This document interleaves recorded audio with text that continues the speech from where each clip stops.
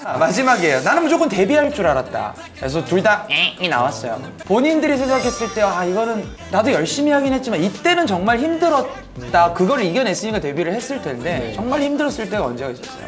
저 같은 경우는 어, 제가 대전에 살아서 어, 이제 학교 고등학교를 다니면서 어, 서울에 있는 회사를 거의 일요일 빼고 매일 왔다 갔다 했었었거든요.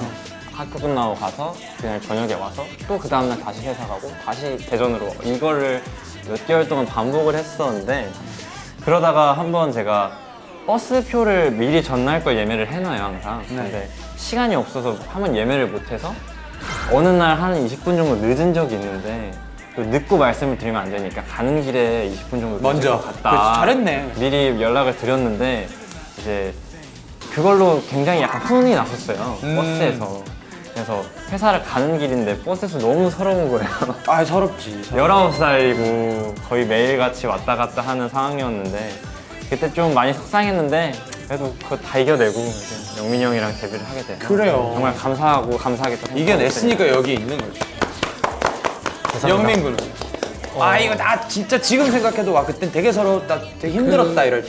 그러니까 저도 이제 서울에 혼자 왔었는데 저는 연습생 이제 어, 가수 데뷔 꿈을 가지고 서울에 왔었는데 이제 어, 부모님의 좀 지원을 받아서 뭐 그 학원들을 여러 개 다니고 있었어요. 음, 실용음악 학원? 네, 실용음악 학원도 있고 피아노, 뭐 기타, 춤, 뭐 되게 여러 개 다니고 있었는데 부모님이 또 지원을 해주셔서 음악 뭐예요? 음악 이런 거 안 써도 되는데?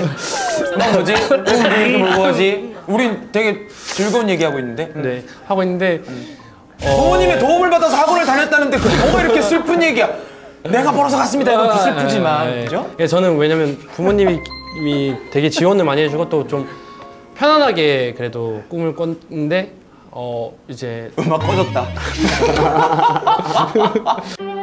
이곳은 아임셀럽입니다. 어느 순간 이제 저도 나이가 이제 들면서 부모님께서도 그렇고 저희 형도 그렇고 가수 꾸는 걸 꾸는 건 좋은데 어, 마지노선을 정했으면 좋겠다. 왜냐면 제가 너무 미래가 안 보여서 부모님도 그냥 그 자취방에서만 한 3개월을 지냈던 적이 있어요. 제가 서울에 친구가 없어가지고. 음.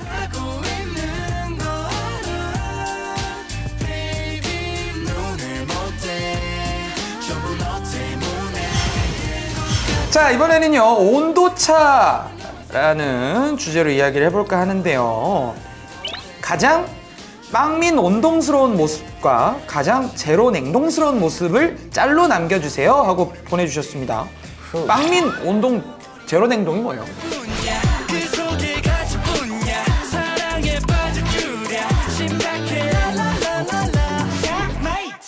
본인들이 생각했을 때 빵민 온동, 제로 냉동 네.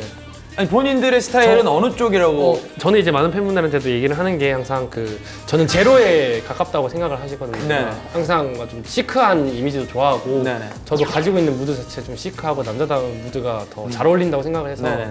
이제 팬분들께 항상 얘기를 하는데 아직 그거 팬분들은 좀 혼, 혼란이 많이 오신 것 같아서 오늘 조금 그런 걸 좀 제로 확실히 제로, 제로라는 걸 제로다. 좀, 네 보여드리면 좋을 것 같아요. 굳이 여기서 좀 더 아니 좀 더 공중파 같은 데서 해. 아 아니 아니 전 여기가 딱 좋은 것 같아요 오늘. 어, 우리가 별로야. 좀 더 시청률 잘 나오는 데 가서 해요. 아 아니 아니 충분히 전. 해피투게더 그때 남겨놓으라니까 아, 이런 거. 알겠습니다. 지금 여기서 쓰면 그때 가서 할 거 없다고. 아 그. 라디오 스타 노래요, 라디오 스타. 아, 음. 좀 반만 해 그럼. 아, 예, 저 반만, 반만, 반만. 반만. 음, 좋다. 알겠습니다. 성현 씨는 어 느 쪽에 가깝다고 생각해? 어, 저도 사실 많이 웃는 모습을 많이 보여드렸는데 우리 팬분들께 어, 또 이제 평소에 있을 때는 굉장히 좀 무덤덤하게 있는 편이거든요. 그래서 저도 약간 냉동에 더 가깝지 않나 생각을 합니다. 음. 자, 그러면 두 분의 매력을 제로 냉동스러운 모습부터 네, 뭐, 빵민부터 네. 빵민부터 갈까요? 네. 아, 그럴까요? 아, 네, 빵민 운동부터. 운동. 하나, 둘, 셋 하면 시작할게요. 하나, 둘, 셋. 말해도 돼. 할 말이. 히. 자, 넘어가서, 넘어가서, 넘어가서, 넘어가서. BGM이 너무 좋다. 샤방샤방하네요. 아 너무 좋다. 자, 됐습니다. 자, 요거를 저장을 하고요. 아니, 이번에는 좀 제로 냉동스러운 모습으로. 하나, 둘, 셋. 내가 바로 제로다. Oh my god. 자 넘어갔어 넘어갔어 내가 바로 냉동이다. 지도 할 거면서. 아, 형 왜 해준 거예요?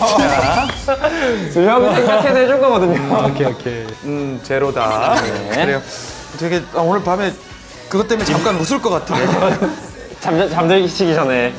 아임셀럽 공식 명칭이 랜선 팬미팅입니다. 그래서 준비한 코너 덕후들의 행복한 시간 덕행시 시간입니다. 1대1 팬미팅이라고 생각을 하시면 되고요. 성공률 100% 야. 제가 아하. 질문합니다.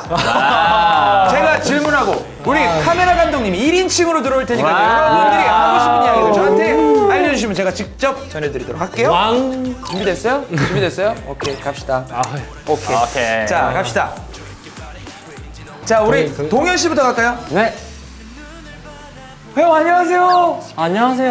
형 안녕하세요. 저 아까 전에 나 TV에서 보고 왔는데요. 어, 뮤직뱅크 뮤직뱅크. 아, 아 오늘 무대 보셨구나. 아 너무 진짜요? 감사합니다. 아 진짜 형 근데 왜 이렇게 잘생겼어요? 아, 무슨 말씀을 이쁘게 봐주시니까 그렇게 보이는 거예요. 아 감사합니다. 진짜, 아, 진짜 너무 좋아. 어때요? 아 형 노래 진짜 너무 잘한다. 아, 진짜 나도 방금 쓰리라 가지고. 형 아, 저 쓰담 쓰담 한 번만 해주면 안 돼요? 아, 일로, 일로, 일로 오세요, 일로 오세요, 일로 오세요. 당신의 노래입니다, 이거는. 당신을 위해 썼어요. 아 진짜 형 너무 감사합니다. 감사합니다. 아 저는 아, 저도 꼼슬머리 응원할게요. 진짜 고맙습니다. 저 영민이 형, 영민이 형, 형, 아니, 어 영민이 형 안녕하세요. 안녕하세요. 형 아까 죽어도 못 보내 한 번만 불러주시면 안 돼요? 죽어도 죽어도 못 보내. 내가 어떻게 널 보내? 가려거든 떠나려거든 내 가슴 고쳐내 감사합니다 아, 형 저기요. 내가 형 드리려고 약간 오면서 로, 아, 진짜요? 로또 샀거든요. 아, 진짜요? 로또 샀는데 아이고 형 1등 하면 저, 아, 저 반만 주면 안 돼요? 아, 어, 반은 좀 어렵고 네. 한 3분의 1 정도만 와, 떼드리도록 형 진짜 치사하네요. 아, 저, 감사합니다. 형 저도 쓰담 쓰담. 아, 쏘였으면 알겠습니다 아이고 고맙습니다. 화이팅 하세요.